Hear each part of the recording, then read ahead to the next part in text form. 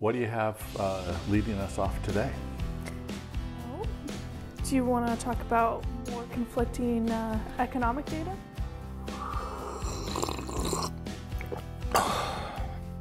I, I can do that. Our, our biggest uh, piece of economic data is not coming out until uh, when we're filming this tomorrow, which is once again the consumer uh, expenditures that the Fed likes to use when they make their decisions on uh, rate adjustments. So that we'll save that for next week and provide an update on that because that is an important number.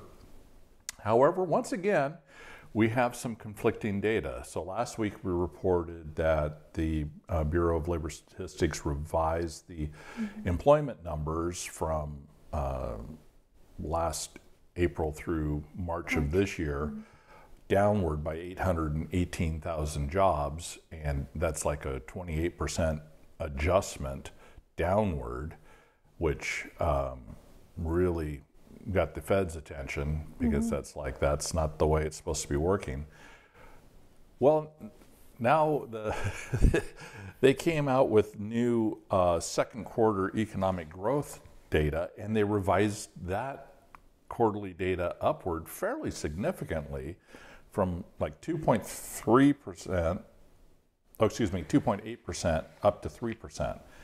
And a large part of that was due to consumer spending was revised upward from 2.3% to 2.9%. percent mm hmm Again, these are not insignificant numbers. And we, yeah, of course, when, when the G, uh, gross national product information comes out, we always know it's going to be revised. But some of these swings are a little surprising. So this is, again, in direct conflict with some of the other numbers that we've been seeing going on in the economy. So it's it's really a puzzle right now, and I'm sure this additional data is going to go into the mixer for the Fed as mm-hmm. they meet in September to decide what to do with rates. Yep. Anything else on on that part of it? No. Uh, again, quiet week again this week, mm-hmm. uh, and, and I, other than what's coming out this Friday, next week's going to be likely a fairly quiet week with the Labor Day holiday. Mm-hmm. Um, I, I haven't looked at the calendar yet for what else is coming up, but whenever there's a holiday, things tend to get chilled a little bit on the news front. So, okay. but we'll be back next week reporting what happened at the end of this week and uh, any other news that might come out after the Labor Day holiday.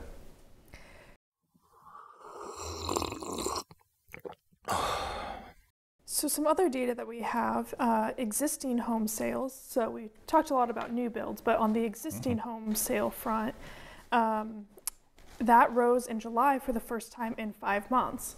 Um, and so, this is a change of trend that we've been seeing here for the last several months.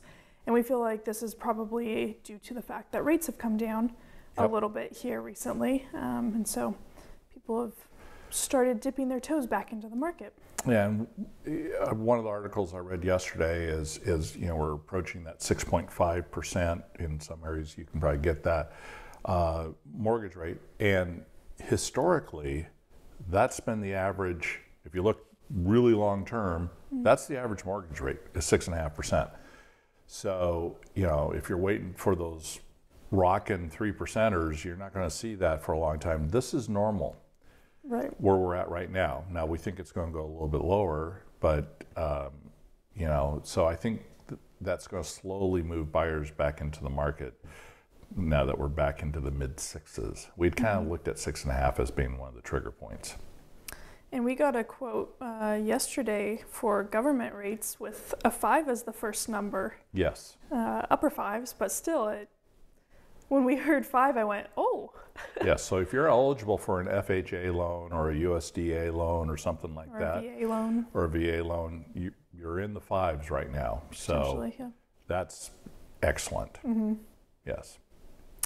So along these lines, um, we've talked about the Pima Tucson um, down payment assistance program on here before, um, and we talked about it when Lighthouse 5.0 was coming out. Mm-hmm. Um, those funds got snatched up within the day that the program launched.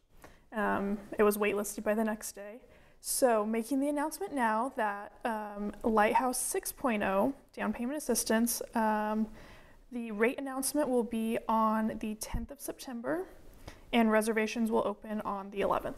Okay. So, if again, if you're looking for a down payment assistance program in the Tucson area, Pima County area, um, this is a really nice program. Um, and so, more funds will be available again in a couple weeks. And you have to have the, the property in mind or an offer on it when you apply for these funds. You have to be in contract, yes. Yes. So if you're looking to acquire these down payment assistance funds, now's the time to be out looking and trying to get under contract. Yep.